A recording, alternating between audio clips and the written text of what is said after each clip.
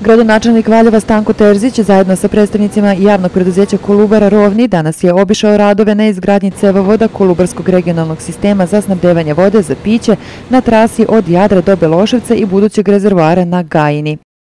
Ovo je najveća investicija u ovom trenutku koja se realizuje u našem kraju. Vrednost radova je 6 milijana i 100 hiljada evra. To su bespovratna sredstva Evropske unije, odnosno preko predpristupnih projekata fondova. To je projekat MSP.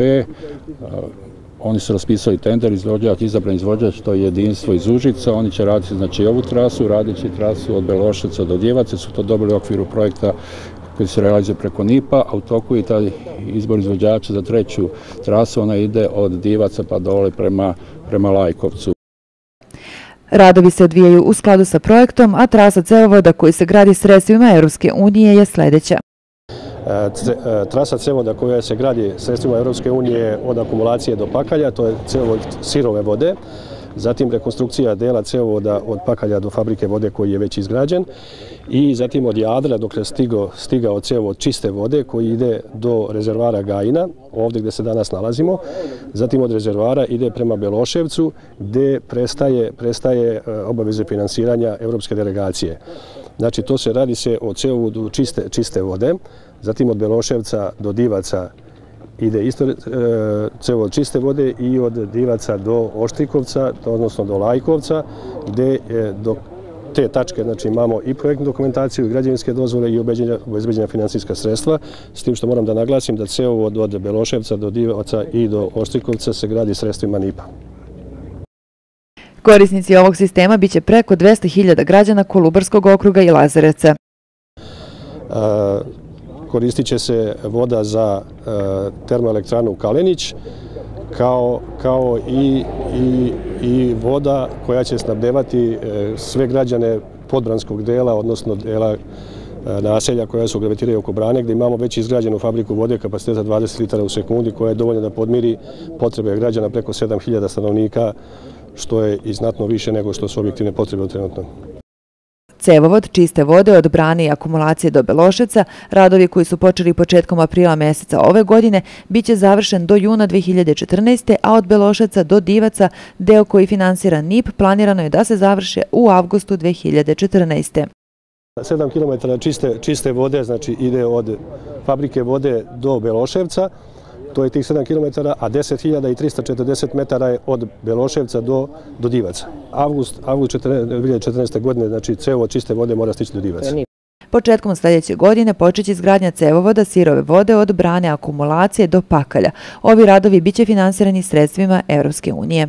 Sljedeća faza koja će se koja će se graditi ceo da čiste odnosno sirove vode od brane akumulacije do pakalja, ali naprosto dinamika je tako određena da će se raditi sada prvi deo od Jadra do Beloševca sa uključujući rezervoar Gajinu, a u sljedećoj fazi znači početkom sljedeće godine će se graditi i ovaj drugi deo ceo da sirove vode. Za ovu godinu predviđeno je da se završi čišćenje akumulacije i da početkom sljedeće godine ona bude puštena u probno punjenje, ali ovi radovi pre svega zavise od rebalansa budžeta. Ostalo je jako neizvesno da li će ove godine sredstva koja su predviđena za nastavak čišćenja akumulacije, odnosno sanitarne zaštite, tačnije, e, biti opredeljene ili ne. Ukoliko sredstva budu opredeljene, mi ćemo nastaviti najverovatnije do kraja godine završiti akumulaciju i spremiti je za početak punjenja. Ukoliko ne, bojim se da će se radovi morati nastaviti početkom sljedećeg godine kada rebalansom budžeta, odnosno novim budžetom, budu sredstva predviđene i opredeljene za nastavak investicije. Izmenom zakona o finansiranju gradonačelnik Stanko Terzić je za septembar najavio rebalans budžeta, ali to ne znači da će investicije biti zaustavljene. Izmenom zakona o finansiranju lokalne samoprave nama će neki vjerojatno između 120-150 milijuna biti manje.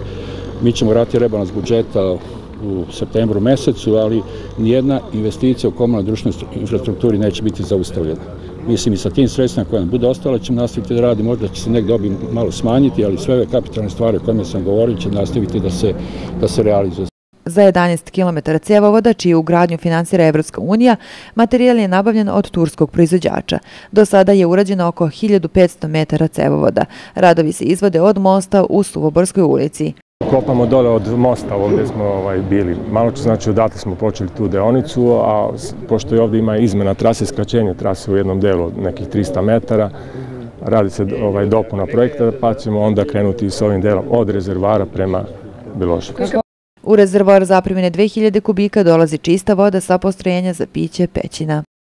Rezervar je zaprimljen 2000 kubika i u njega dolazi znači, čista voda sa postrojenja za piće ovaj, pećina, a odatle ide ceo od FI 700 prema Belošicu, Divcima, Ubu i Lajkovcu, kako već tamo planirano snabdevanje vode.